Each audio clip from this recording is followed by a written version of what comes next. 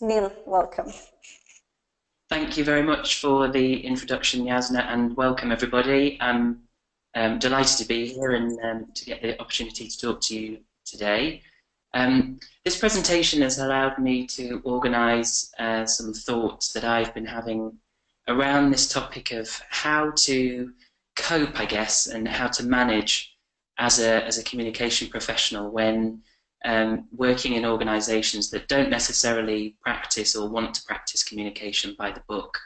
Um, so I'm really grateful to get this opportunity again to, to present to you today and share some of the experiences I've had over the past um, decade or so working in, uh, in communications.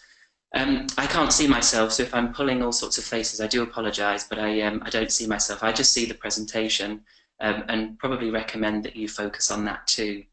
Um, what I'd like you to do, though, uh, to begin with, is to close your eyes um, and just imagine the scenario that I'm going to describe to you. I want you to picture yourself um, making your way into the office. Um, even if you have one or you don't, you're, you're getting into the elevator and you bump into some of your colleagues from finance and legal, um, one of whom taps you on the shoulder uh, and, and says, congratulations, by the way, on that um, that announcement last week. I thought it went really well. Um, so you're feeling very good about that. You get out of the elevator and you go to um, your desk and settle in. Um, you have an email waiting for you from the CEO who's invited you to go to their office. So you go go along to their office and sit yourself down, um, and they tell you that in six months' time there's going to be a new product launch, and you have two whole months um, in which to create um, a communication plan. Um, and just as you're leaving after that short discussion, the CEO calls you back and says, um, by the way, don't forget to include that section on measurement. Um, I really want to see how um, you're going to measure the success of your communication program that's, that's supporting this product launch.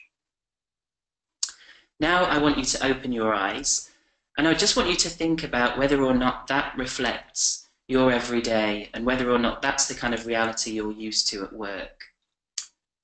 And if it is, then this webinar might be useful for you, um, but this webinar really is for the people who are sat there thinking that that reality and that scenario is nothing like what they're used to. Because over the past 12 years or so that I've been working in professional communication, unfortunately I've noticed that um, that sort of dream scenario I just described is not really the reality that we face as communication professionals. And there's so much out there, I guess, um, that tells us how it should be done. Um, IABC itself has um, a, a, a, wealth of um, content and resources that support us in being able to be great communication professionals. Um, but often the organisations we work in um, don't share that vision of, of what communication should be like a quick story for you. A few years ago, um, I was brought into an organisation to help strengthen um, its internal communication function. Um, and I, uh, all throughout the interview process, was really impressed at how open they, uh, this organisation sounded to, to, to, good communication. I was really excited about the new job. Um, and I got stuck in straight away to a, a project for, um, it was a global uh, campaign that needed to be created. And I did the usual thing. I sat with all of the senior stakeholders involved, um, mapped out all the audiences, did everything according to the book. Went back to the project team with um, the, the plan that I'd built. Um, and somebody sort of pulled me aside, quite a senior person, and, and sort of said to me, you know, Neil, we don't need to be patronised by uh, by this this sort of thing. We really just need you to tell us how to communicate. Which I guess was a bit of a surprise, um, considering everything that I'd um, sort of anticipated and had been led to believe. Um, and unfortunately, I've got other examples that I could share with you like that. But what that one showed me was no matter how much an organization says that it, it wants good communication or is open to good communication, unfortunately, a lot of the time, um, they actually don't know what that really looks like. And, and when, when you, they start to see what that looks like, they can be quite put off. And that can be quite frustrating to, to people like you and I, you know, enthusiastic and maybe even talented communicators like we all are. And that can be quite frustrating. Um, but if, if I think back over the, the past 10 years or so of my work, I, I can say with, um, uh, with conviction that it is possible to thrive in, in those organisations that don't necessarily appreciate um, good communication. And the purpose of today really is to, to give some tools and techniques and share some of the experiences that I've had um, to avoid looking like this little guy um, and to actually help you thrive as a, as a professional communicator.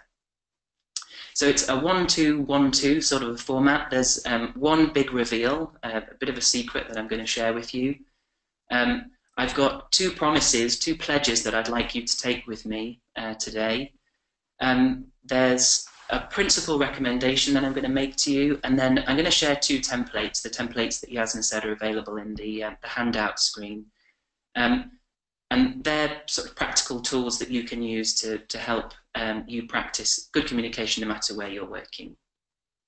Hopefully at the end we'll have some time for some discussion or questions and answers um, because I don't pretend to have um, a magical solution here that's going to solve all of your problems but hopefully if we can discuss it then um, we can we can help. Um, I just thought I'd share with you my, my professional timeline here, just to give you the context of where I'm, I'm coming from with, with this presentation. Um, I got my start um, in languages. I graduated as a, um, a student of French and German, um, which, as an Englishman, um, being able to speak a language other than English is usually quite a, a, differentiator, a bit of, a, of an advantage. But unfortunately, I moved to Montreal where everybody spoke French and very few people needed to speak German. so I was kind of faced with a, a situation where um, or, or a, a, sort of an ultimatum of whether or not everything that I'd just studied was going to get me anywhere. Um, thankfully, I was able to sort of survive and, and, make it work by being able to speak French in Quebec. Um, and I got my first job in, in the non-profit sector and spent a few years working in um, member and donor communications and, and, special projects. And it's really there and in those roles that I started to see the power of communication within organisations and on its stakeholders. And I thought there was something in that. So um, I decided to go back to school and, and enrolled in um, PR management uh, course at McGill University. Um, and that was really great because, um, kind of like languages in a way, um, there was something about the uh, PR process and the, the, communication process that really just made sense. Um, and I just couldn't wait, couldn't wait to get into you know communication specific roles and make a difference in organizations. Um, but unfortunately, um, when I got into those communication specific roles, I, I quickly realized that um, my peers and my colleagues in, in the different functions and the different parts of the organizations I was working in didn't necessarily share the enthusiasm that I had for um, strategic communication. Um, so I was kind of faced with another one of those choices of whether or not everything that I just studied was going to actually get me anywhere. Um, and I just decided that enough was enough, and I, um, I really wanted to make this one work, and, and I was going to go for this one. Um, and I really was going to apply the, the textbook approach that, that I'd learned at McGill um, and, and really apply that in my work, whether or not people were open to it. Um, and, and don't get me wrong, those kind of sad faces that you see at the top of the screen, um, don't let that um, mislead you. Um, I have actually really enjoyed my work over the past 10 years or so. It's just that really what I, I, I identified across those organisations was there was a, a, lack of understanding, I guess, and, and appreciation for um, the difference that communication can make in solving some of those big issues that organisations face. And that was the common thread that I saw across all of those roles, and that's really led to, to me building this presentation.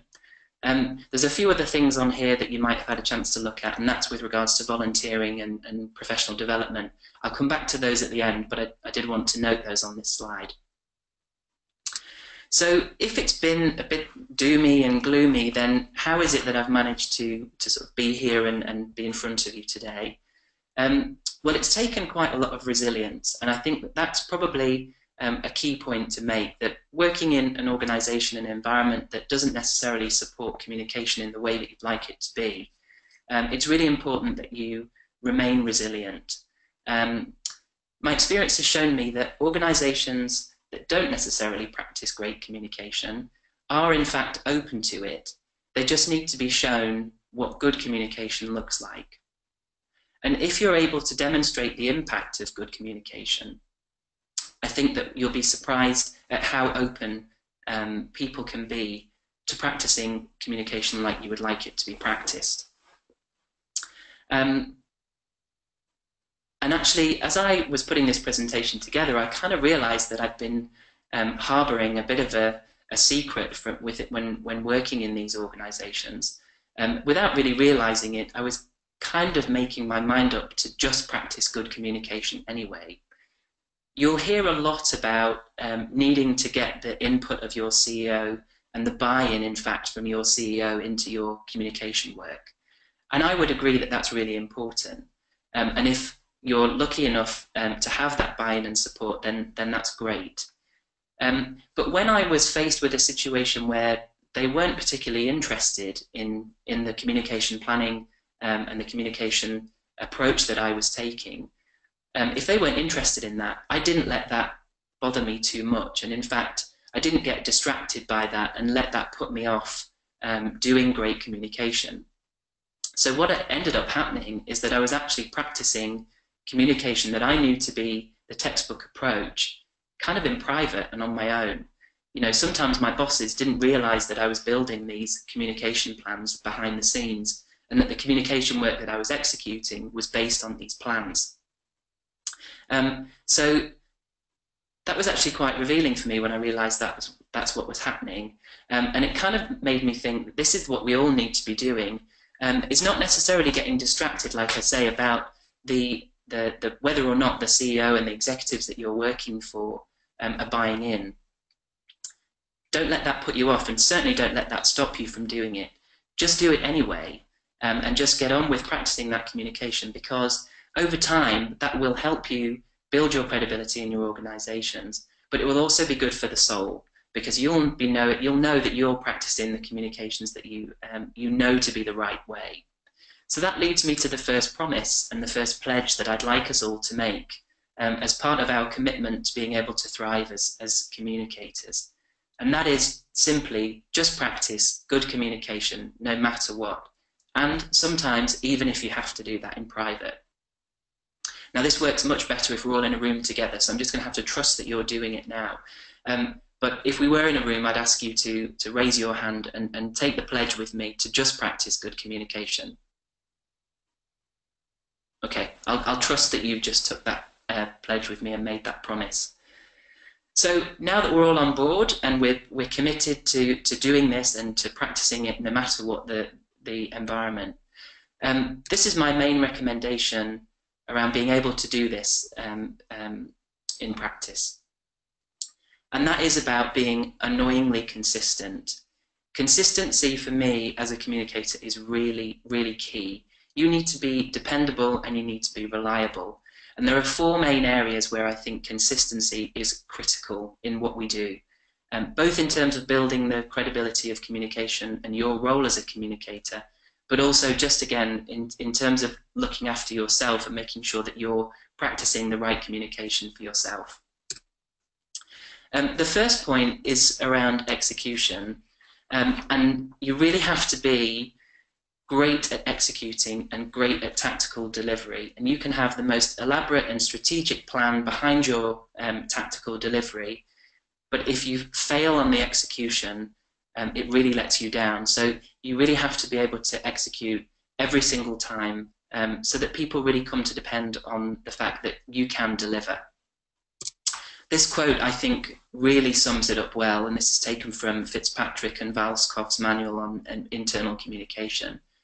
Um, and it really um, speaks to me um, in um, very clearly in the importance of being consistent in delivery. Because if we can't do it, then people will um, will come to find other people who they can depend on more. Um, so it's really important that that you nail execution. Somewhat related to that is um, about writing, and, and I know that that is um, part of execution, but it's worth a special mention in my opinion.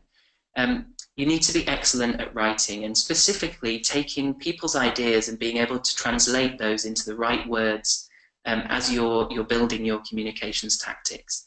I've had great experience and, and um, uh, great support from executives as well because of my ability to, to translate the ideas that they've got into the right kind of communications and definitely the right kind of words.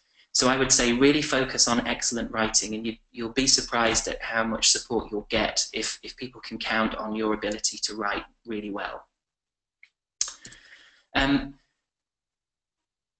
I also think that um, a relentless focus on audiences and outcomes um, is critical. These aren't in any order of importance, by the way. These are all as important as each other. Um, of course, your ability to write and your ability to execute depends on a focus on who it is that you're trying to reach and what it is that you're trying to achieve. And if you focus on this, you'll be surprised at how you build um, your support and momentum for the communication process because it's not about whether or not you think um, a website is right or a video is right. It's really focusing on the people who are going to be impacted by your communication and the, the nature of that impact as well. And if I go back to the, the story that I told you at the beginning, um, once I'd kind of brushed myself off a little bit and gotten over the shock of being um, labelled patronising, um, I, I, explained to the team that really all the, the communication plan that I was presenting to them was trying to achieve um, is focusing on the people that are being um, influenced and impacted by, by the, the communication project and what it is that we're trying to do. And in fact, communication planning process is really aligning the project team around those um, views of success um, and making sure that the tactical delivery is, um, is based on um, the right kind of foundation.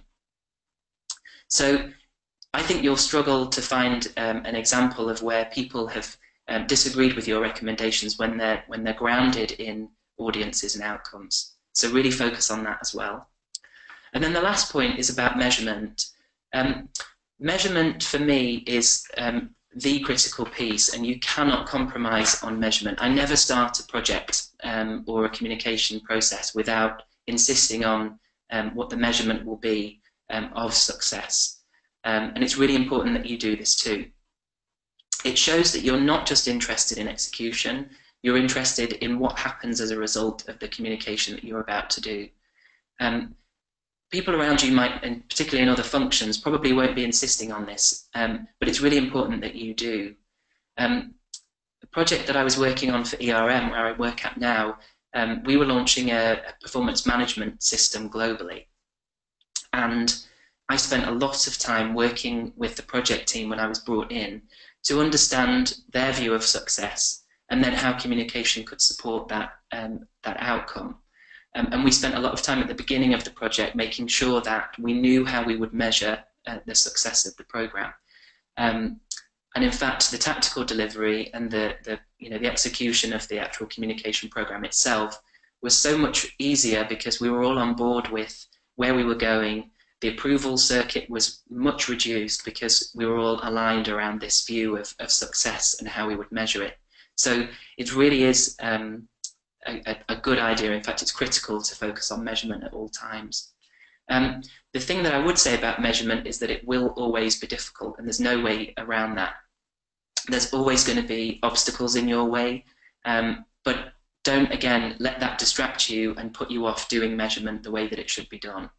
Um, you need to get creative. Some things that I've done in the past um, is get really good with sampling. So if I've been told that I can't email the whole company and to ask them to participate in a survey about the, the project, um, I've then um, asked if I can uh, send it to a representative sample um, of the organisation and then get the, re um, the results uh, and, the, and, and get the, uh, the measurement that way.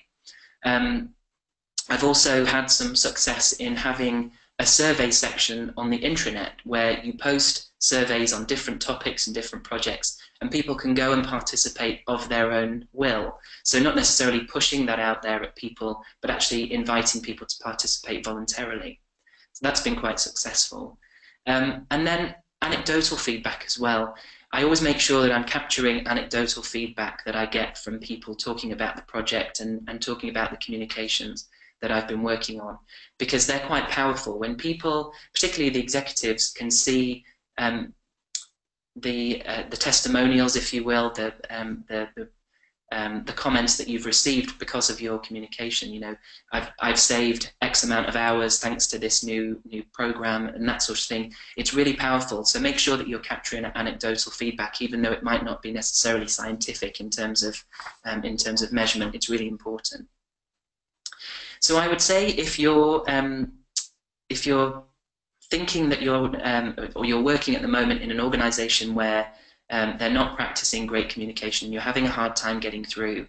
If you're consistent in these four areas, I think over time you really will build um, some momentum around what it is that you're doing. So that's kind of more principles though, I realise, and, and it was important to me that this would be a little bit of a practical session as well. Um, so I do want to share with you two templates that I use um, every day um, to help me uh, set myself up for um, or to be able to practice uh, textbook communication. Um, the first one is really around uh, asking the right questions at the beginning of a project. We're often brought into projects late in the game, and that can be frustrating um, and it can be off-putting, but I, I, don't let that stop me from um, getting the information I need to make an impact on the project. And it really is about asking the right questions at the beginning. Um, and I would urge you not to get too frustrated and distracted when you're not brought into, uh, into the project at the very beginning. Just ask the right questions at the beginning of your involvement um, and that will help a lot. So this first um, template that I use um, is really all about setting the scene and, and getting the background information that, that I need for a project. These are available to you, by the way, to download, so do that in the, in the handout section. Um, so this first one, um, I've evolved this over a number of years, but um, I took quite a lot of inspiration from um, a, a, lady called Caroline Kealey, who's based in Canada. And there's a couple of links to Caroline's work on the left-hand side. Um, Caroline's a great thinker in terms of moving communicators from being tacticians to strategists, and um, she insists as well on asking the right questions. So if you want more background on that, then, then go to that link.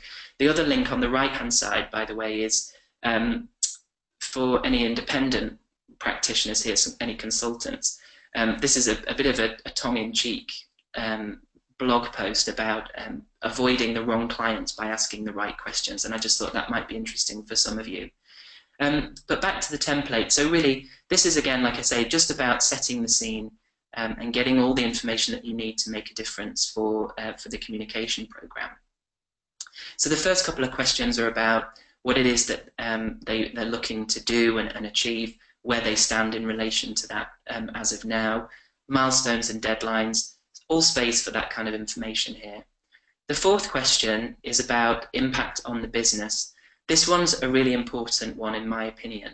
Um, it helps you prioritize the particular project in the context of everything else that you're working on and also in terms of what's going on in the business. So that can be quite helpful to you. Um, but also, in terms of positioning you as somebody who thinks more about more than delivery, um, this is a really key question to ask because it shows that you care about where this fits into the overall picture for, for the business or the organization. So I always make sure that I have this kind of discussion as part of my initial involvement. Um, this also helps you to build your, um, your goals and objectives for the communication program. So, so this is a really key question. A, the next question is about success and how we know that we've, we've achieved success. Um, that's for the project itself, um, because the next question is specific to the communication program. You know, you need to ask what people think the communication, the difference communication will make to success. I found over the years that um, communications can be blamed for the failure of projects when things don't go according to plan. And it's not always the case that communication is responsible. So what I like to do early on is have people think about what the view of success overall is for the project and then think separately about how communication specifically can have an impact on that success um, again, it's just really helpful to, to separate out what the project is all about and what communication is specifically responsible for. So this to me is a, a key question to ask. Then there's space here to talk about the, the stakeholder groups and it's worth noting um, the priorities of, uh, of stakeholder groups here and then a space at the bottom to help you capture any other information. If you've got any questions about this and, and the approach, um, we can cover that at the end. Be sure to include your questions in the chat area. Hopefully that makes sense though, um, because um, what I do from here is um, I, I, look at all of the information that I've, I've, got together in here, and I do make sure that I've, I've got all the answers to all of these questions before I move on. Um, but I then move into um, this framework, um, which is the second template I'm sharing with you today.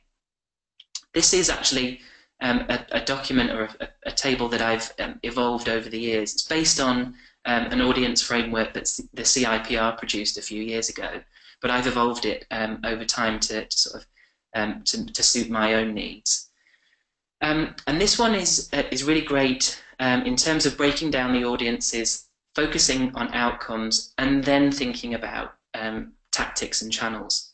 Um, I found a lot of the time over the years is that people come to us with requests for things. So they would come to you and say something like, I need a poster for XYZ project, or we need to put out a video on ABC.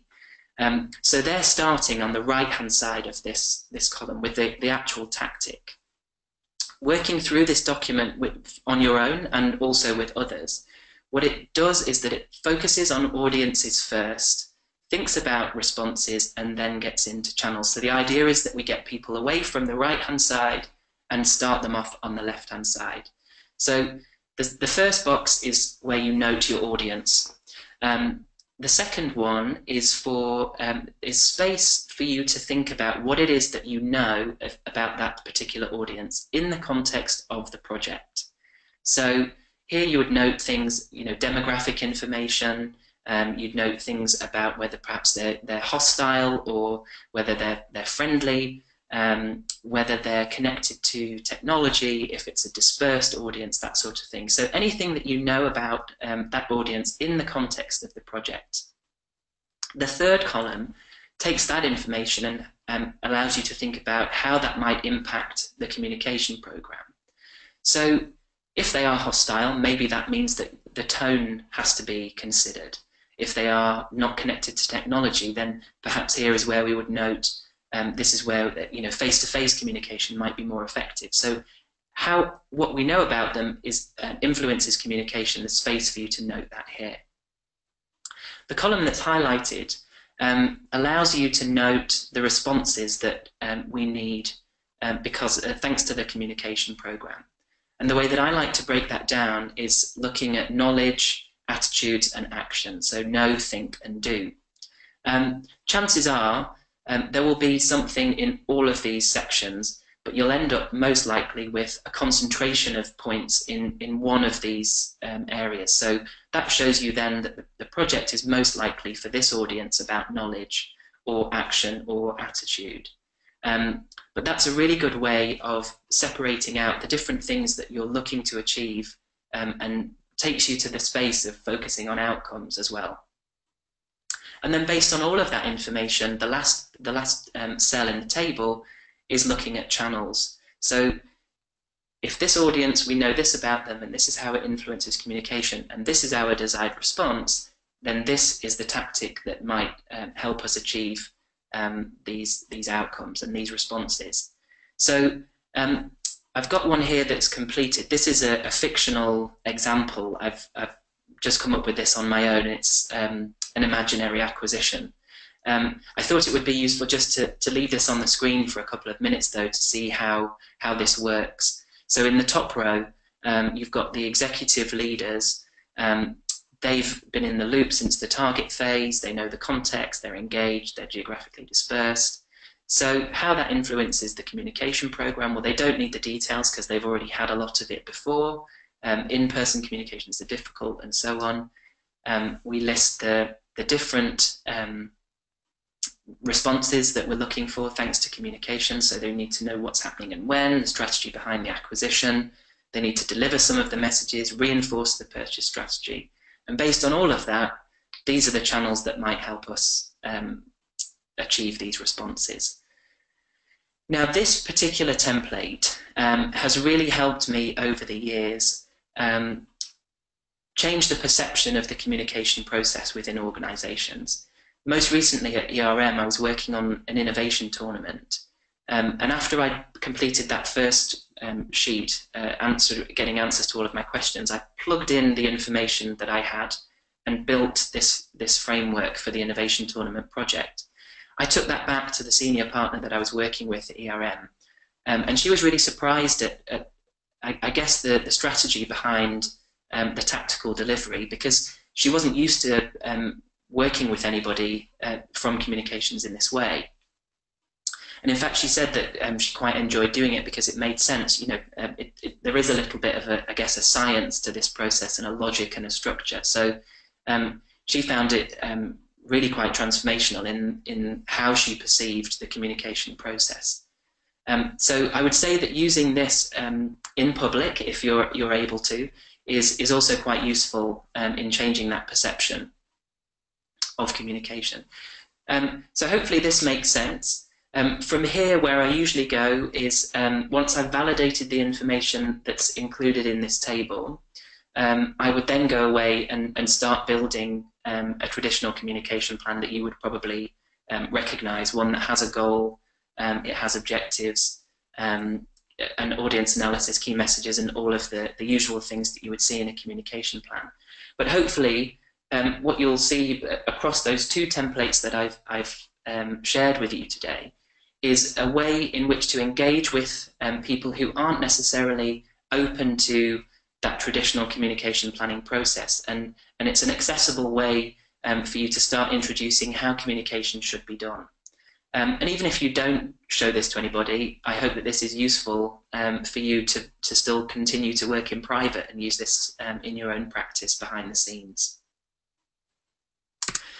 So um, quick point that I would make as well, one of the things that I've had um, quite a bit of success with over the years is um, working with the wider communications team um, that I've been part of on an approach like this and, and sharing um, the approach so that everybody in the team is going out and working with business partners uh, in the same way. That's really important. Um, and I think that um, if you do that, what, you, what happens over time is that you build a, a reputation for being reliable. Um, and as everybody's going out and, and, working with the various parts of the organization in this way, um, you start to build an appreciation for um, the communication process and, and, and it allows you to go out um, and practice those textbook communications. Um, but one thing that to be aware of though, or a few things actually, um, and it sort of goes back to what I was saying at the beginning of the presentation, that is that a lot of people don't know what they don't know about communication and it is up to us to, to show them but it can be quite overwhelming for people as you go out into the organization and um, and start, I guess, kind of um, promoting this way of, of going about communication. Um, so it's really important that you, as you go out and you start um, working with people in this way, it's really important to keep it simple for them and try not to get too carried away with, um, with and, and too enthusiastic once you start to come out of the uh, the communication closet, if you will, and start working with people more publicly. And the communication pro planning process I found can actually be quite exhausting for, for some people. So it is really important to keep it simple. Um, I have learned the hard way that um, taking too long to get to tactical delivery because I was spending um, hours and hours trying to build the perfect communication plan um, that exhausts people. So do do be um, be aware of that and, and don't make the same mistake that I did. Um, because people, like I say, associate what we do with um, with the, the tactics that we create. Um, so do keep it simple for people, and don't ever forget that communication speak can sound like a bit of a foreign language to people at times. Um, so don't get too carried away with that either.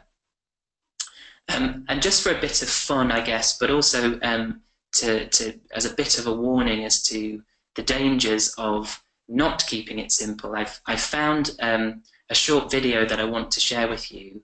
Um, and apart from it being um, fun and um, funny, uh, it is a, a, a bit of a, an illustration, I think, of the point that I'm trying to make because as we go out into our organizations and, and practice communication the way that we know it should be practiced, um, we can sound a bit foreign to people. So I just want to show you this clip. It's taken from um, the BBC programme 2012, which was a, um, a comedy show, a spoof basically, around um, the Olympic Organising Committee. Um, and this is the PR person, Siobhan Sharp, who um, it was a character on this, this programme. So I'm just going to hope that this works. Stop me if it doesn't. I think the legacy of the social media network that we're basically creating is going to far outreach the legacy of the games themselves. It's the kind of thing what we want people be, to be doing is actually talking about the games, but also not talking about the games. I mean, the games is the beginning, but it's not necessarily the end or even the journey. Um, and I think the end is the thing that's going to be most exciting. And to promote the social side, the second screen of our um, kind of TV coverage, we've got various different um, apps, Misu, GetGlue, iMe, Yumi, um, Fastbox, and Netface, um, and all of those things are basically going to kind of be spread across our network. There's also a lot of other kind of um, sites that we kind of mashable sites, paid content. Can I have a cheeseburger? I mean, those kinds of sites that we're appealing to. Those are the people who use those. Those are the kind of people who are going to be using our new site. Also, um, a site that we're very um, interested in as part of that idea of also regressing media, because we feel that could also be the future, actually going backwards. Um, we're looking at MySpace space um, that actually at the moment has the least amount of users and therefore is the most exciting because it's the most fastest growing. I think it's important as well to acknowledge that um, sites like Twitter, um, it's where you get to express what you think about um, athletes. Um, you can comment on possibly what, how you think Jessica Ennis is looking, what she's wearing, um, because it's not all about the sport. Um, it's also about public opinion on athletes and all aspects of them. It's really exciting because we've got a great now relationship with Twitter. Um, we're developing all kinds of merchandise with them. Um, and as a result of the Olympic Games, um, you can now get 2012 Twibbons, Twedges, Twee-shirts, and Twandanas. Um, and these kinds of things are already like flying off the internet. I mean, my hope is that what we're actually starting, what we're creating in conjunction with all of these different digital um, and social networks is just to create something that actually means that in years to come people have forgotten the games, you know, and this is what they remember.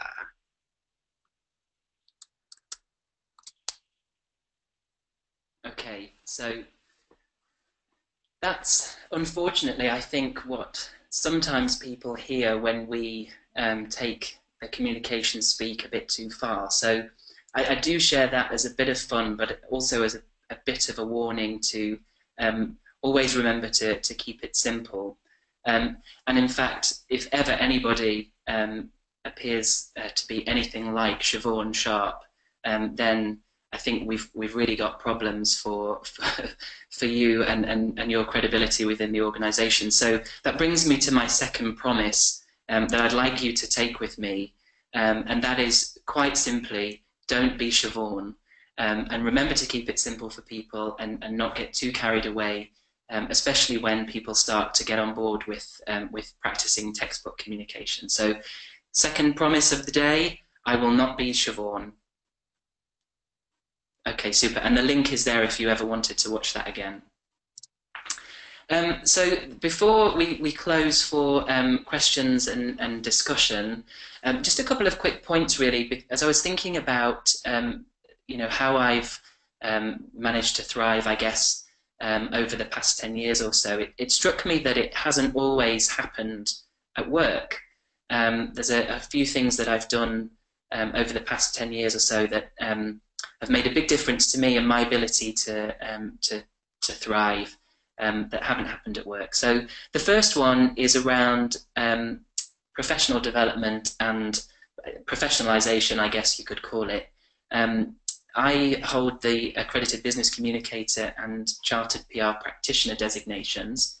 Um, and I did that for a number of reasons, but I guess notably, um, when I was working in organizations or have been working in organizations where they didn't quite get communication and I couldn't always practice um, as I would have liked to, pursuing those um, uh, professional designations um, showed me and proved to me, myself, that um, I was able to practice according to given standards. Um, and so that was actually quite important to me because um, it just gave me, gave me that encouragement and motivation um, that I was able to do it and, and I and I and I could um, sort of meet those standards. So that might work for you, it might not, but um, it's certainly something to consider as well. Um, and then secondly, I would say volunteering and, and, professional opportunities in the volunteer space um, also provide a vast amount of opportunities for um, for you to practice um, what it is that you do to the, the, way that you want it to be done. Um, there are countless organisations who would be delighted to have your your skills and support, um, and would provide you great opportunities to to sort of spread your communicator wings, if you will. Um, so in, in my case, I've done a lot of work within IABC, but it doesn't have to be within the profession. It can be um, any kind of non-profit organisation that um, would benefit from your skills. So, so do think about those opportunities as well, and um, don't necessarily just think of being able to practice um, your your professional communication at, at the office. Um, so think about those things too, because they've they've helped me a lot. Um, and with that, uh, Jasna, I would open for questions and discussion.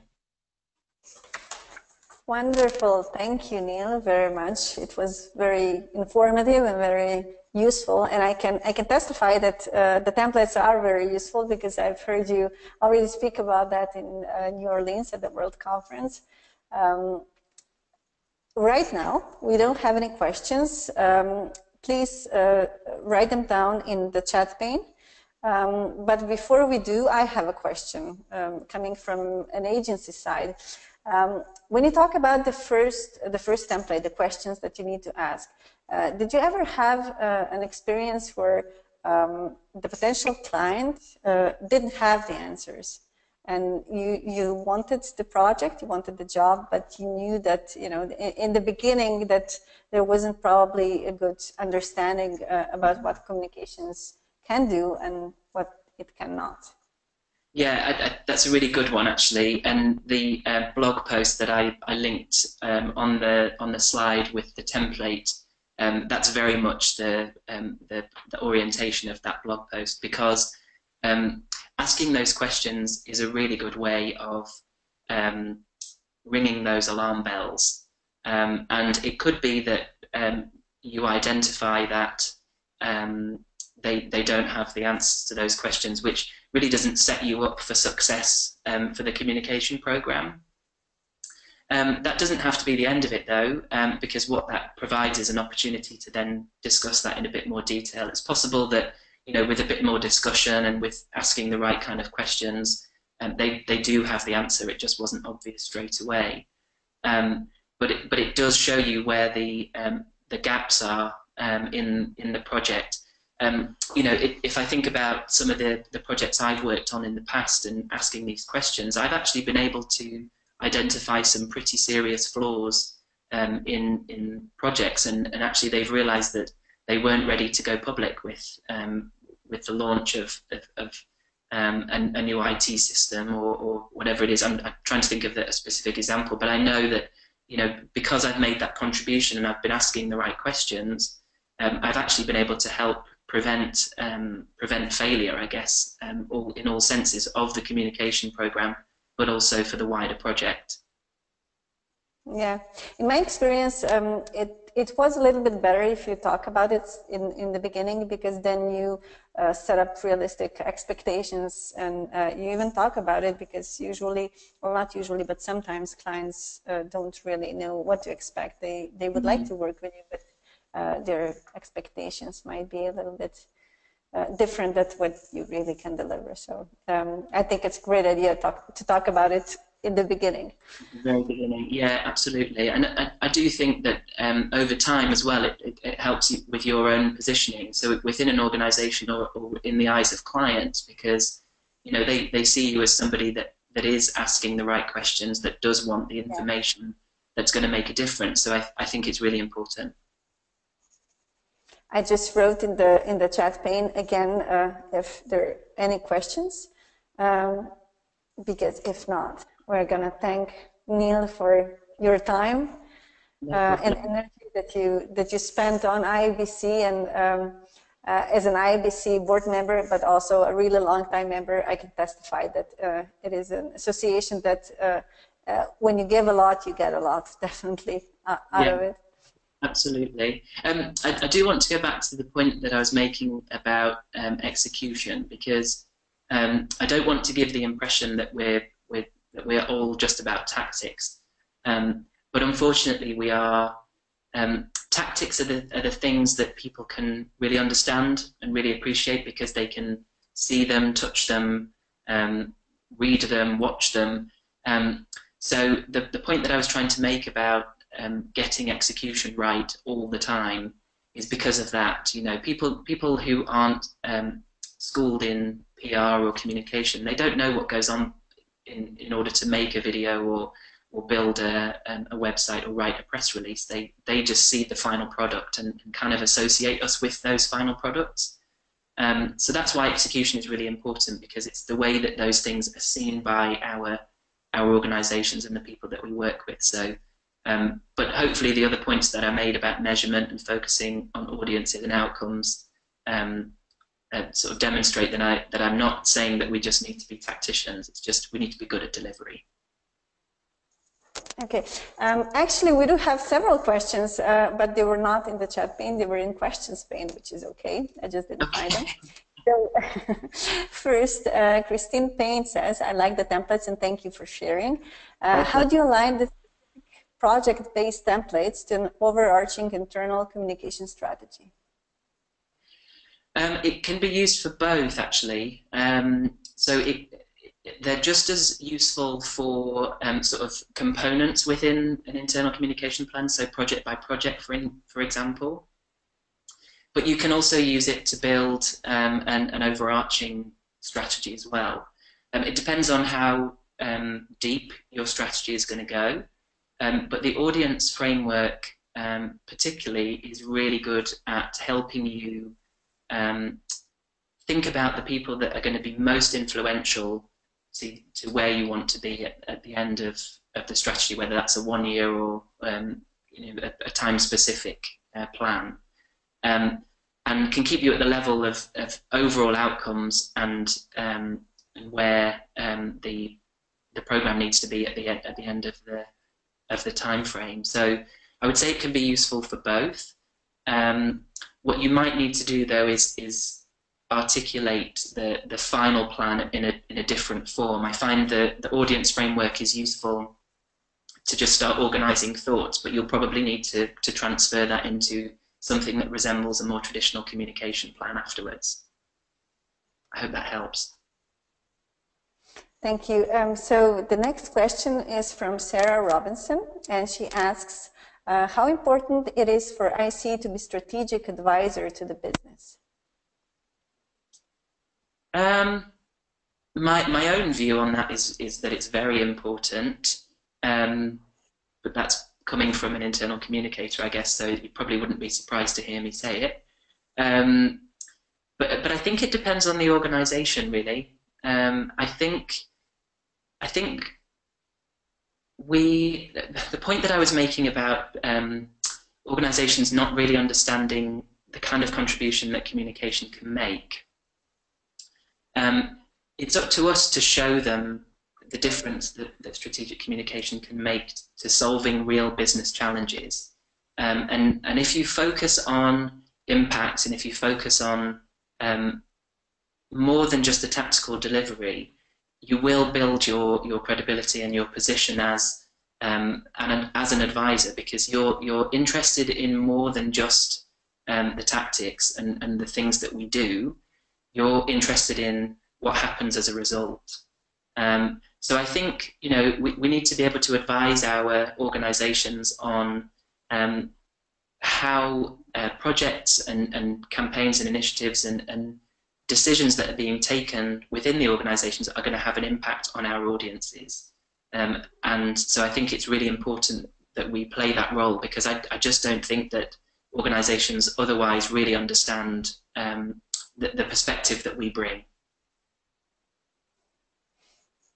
Um, thank you. And next question is from Kate Robson.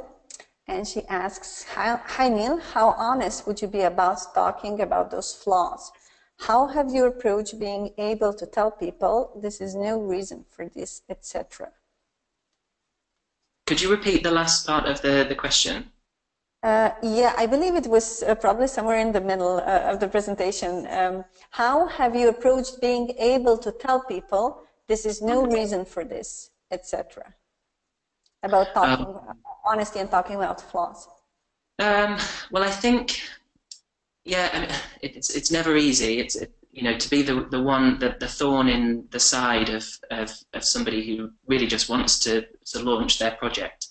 Um, but no, it's it's never easy, and I, I mean I tend to do it um, in a way of sort of have you considered what would happen if, um, and that usually works. Um, I mean, there's been some times where people just haven't considered who is going to be impacted by, um, excuse me, you know, um, the decision to remove a, a piece of software or introduce a new timekeeping system. There's lots of examples that I can think about.